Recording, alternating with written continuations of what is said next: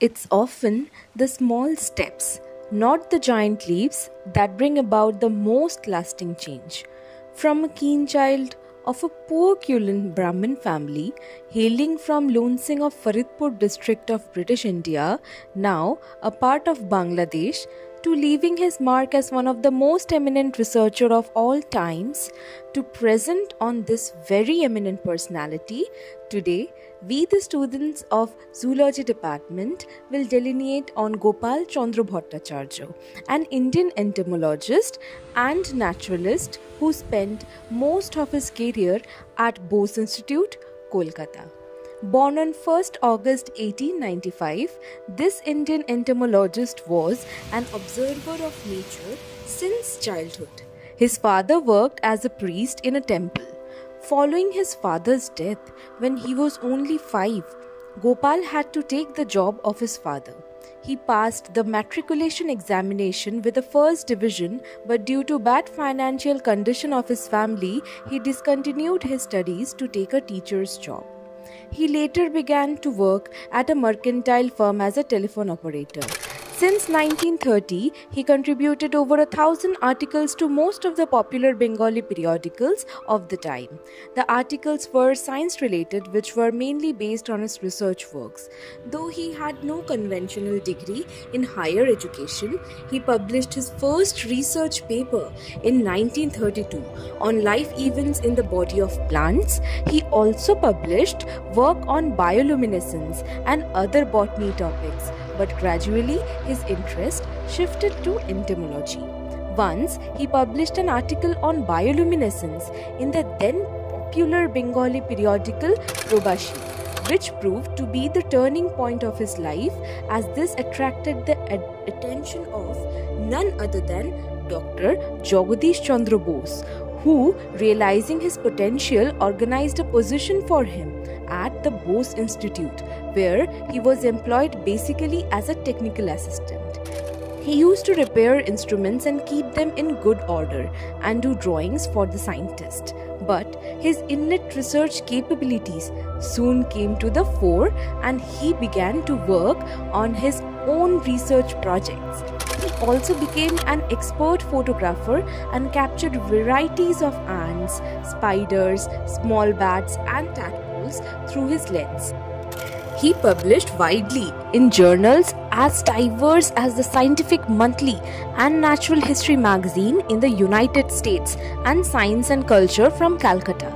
Backed up with some superb photography, these papers were unfortunately mostly published in lesser known journals and failed to attract the attention of the scientific establishment of the day. His photographs of insects were unique in his day, and his painstaking observation of tool making in wasp is now acknowledged to be a pioneering feat. After Dr. J.C. Bose passed away, he was encouraged by the then director of Bose Institute, Dr. D.M. Bose, to work on the effect of antibiotics on ants and tadpoles. He showed that the administration of penicillin leads to an arrest in the metamorphosis of tadpoles to frogs. This, he showed, was because penicillin kills certain bacteria present in the tadpoles which are essential for a smooth metamorphosis. He thus was one of the first to show the presence of salogenic, that is, health giving bacteria. One of his major discoveries, which he published in the Transactions of the Bose Institute as early as 1940, concerned his observation with the birth of male ants or queen, depending on food source. He created a cellophane nest for the ants. He observed that special type of food is necessary for the larva to mature into queen ants. Other nutrients or protein diet resulted in only worker ants. He thus concluded during February to April, queen ants can be seen in nests when there is certain food source like mango birds and leaves. Soldier ants collects the aphid that come to feed on the birds. Feeding the queen aphid secretes liquid called honeydew ensures smooth development into mature queen ants. In 1943, he published an article based on his findings, adding a strong point to a long lasting battle between genetic and trophic. Influence on ant development. Although his work was not recognized at that time, later it was regarded as the pioneering discovery. He also showed that administration of vitamin B12 accelerated metamorphosis of tadpoles to frogs. Later, he also discovered an interesting feature of earwig where they put a muddy layer on their hind legs which turned into a heavy boot when dried. They use this to kick predator to save their eggs. This phenomenon is only observed during breeding period.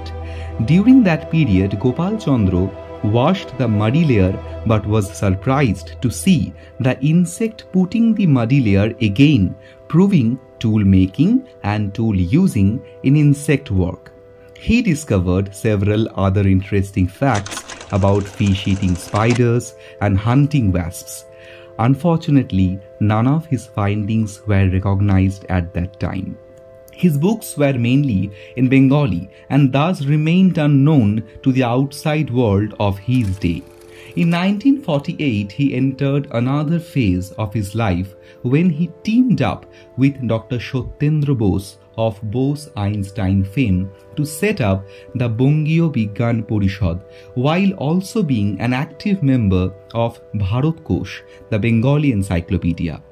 Bongio Bigyan main purpose was to promote the diffusion of science and scientific knowledge using the local language and quickly became the vehicle for his remarkable talents. He now directed his energies to science popularization as editor of the magazine Gyan Obigyan. He was instrumental in popularizing the writing of scientific literature in Bengali. He worked as editor from 1950 to the 1970s. One of his monumental works was the book Banglar Kit Potongo, The Insects of Bengal which is a collection of many of his prominent research works and observations, to date sadly untranslated, which fetched for him the Robindra Puruskar in 1975. He had already been awarded the Ananda Puruskar in 1968. He also published a three volume publication, Kore Dekho, Throughout his career, he kept facing discrimination because of his lack of academic qualifications. On one occasion, another scientist even refused to share a podium with him, leveling him as an amateur. On 8 April 1981, he drew his last breath in Kolkata, West Bengal. This man of great intelligence with no proper college degree was awarded an honorary Doctor of Science degree by the University of Calcutta, making him an outstanding figure in the history of Bengali researchers with remarkable contributions in the field of science from India. In 2005, Government of West Bengal instituted an award for science popularization in his name the Gopal Chandra Bhattacharya Sriti Puruskar. It is indeed a befitting honor, but one should not forget his pioneering research in entomology, in which he was the first in his field in India. Evidently, he was way ahead of his time, and despite immense hardship during the entire course of his lifetime, he remains true to his dedication and bestowed his knowledge on nature to the society.